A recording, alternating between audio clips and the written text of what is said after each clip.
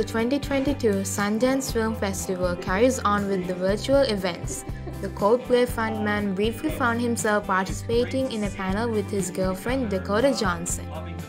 Dakota was preparing to discuss her upcoming film, Cha-Cha Real Smooth, when she appeared to need some Zoom assistance. After a brief delay, the camera started working and Chris appeared in the shot. Hello, the singer said before rushing out of frame. Welcome, welcome, peace. And others couldn't stop laughing. Hello, welcome, welcome. Peace.